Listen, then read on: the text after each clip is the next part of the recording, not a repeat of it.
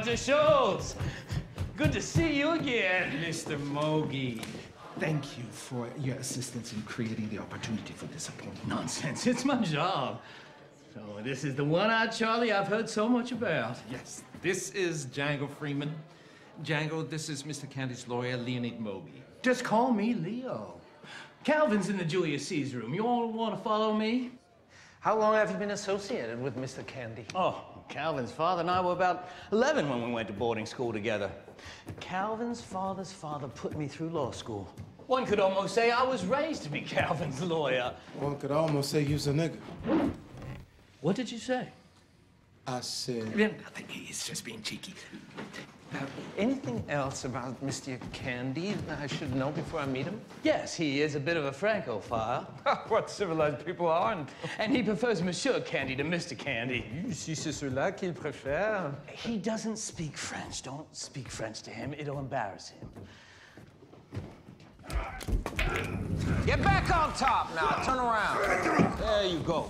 There you go. Why do you want to get in the Mandingo business? You don't intend to allow your second to make the proper introductions? Quit stalling now. Answer the question. The awful truth? I'm bored. This seems like a good bit of fun.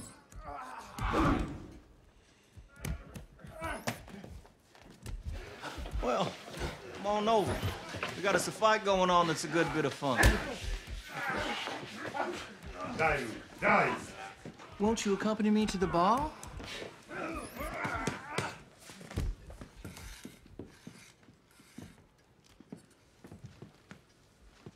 You don't wear a hat in the house, white man. Even I know that.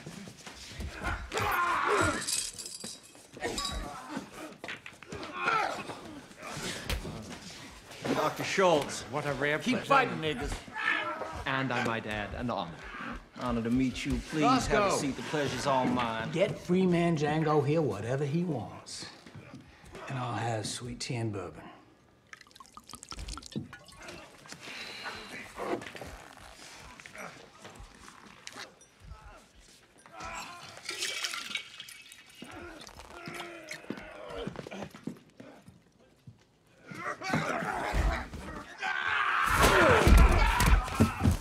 You don't wait, boy. You don't wait there. You...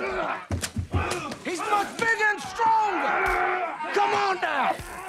Ah, he's not doing what I told him. For God's sake. Bravo Luigi, così, dai! Dai che sei più rapido! Come on now, boy. There's a fight to the death.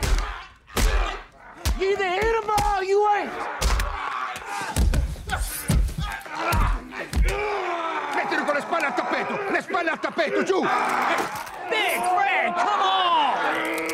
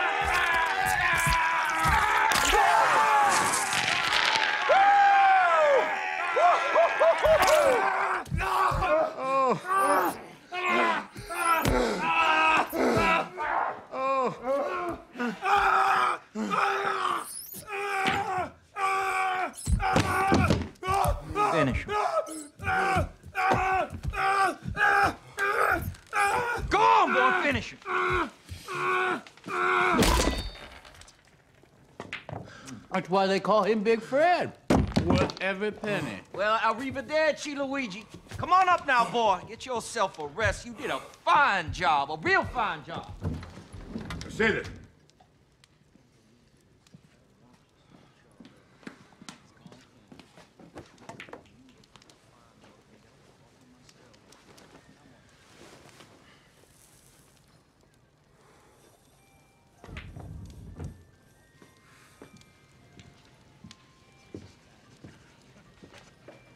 Tequila.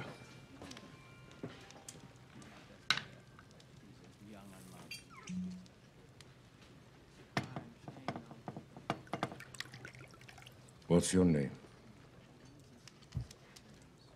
Django. Can you spell it? D J A N G O. The D is silent. I know.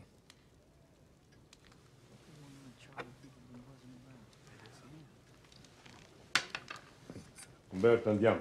Smogy, I want you to take care of my new boy here.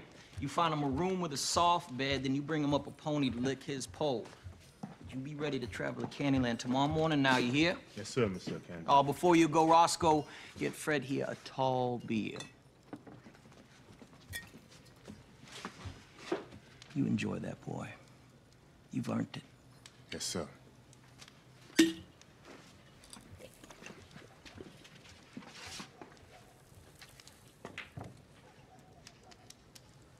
What's your name, boy? His name is Django Freeman. Hmm.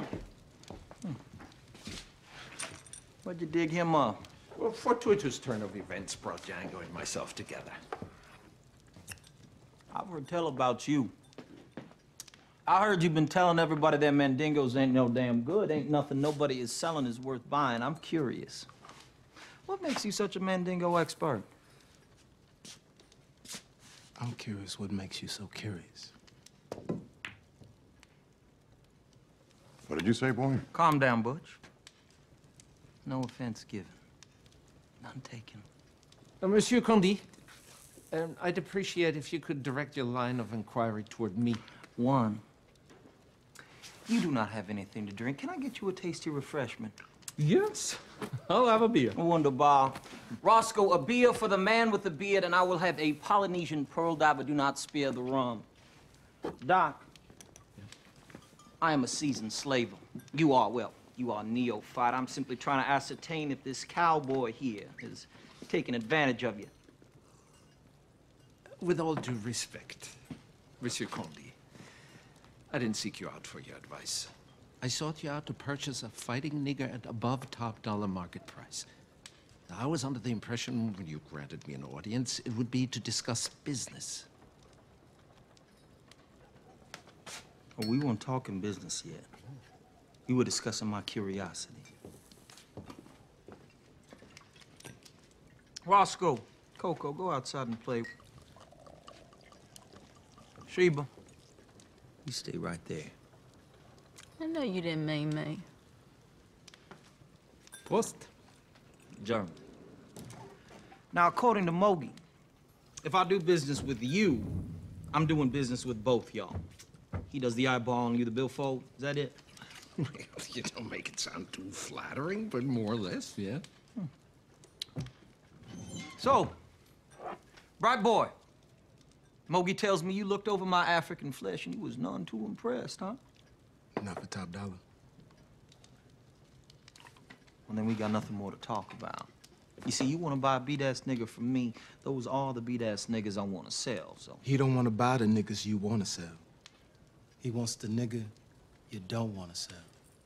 Well, I don't sell the niggas I don't want to sell. Well, you won't sell your best. You won't even sell your second best. But your third best, you don't want to sell him either. But if I made you an offer so ridiculous, you'd be forced to consider it. Who knows what gonna happen? And what do you consider ridiculous? For a truly talented specimen, well, the right nigger? How much would you say, Django? Twelve thousand dollars.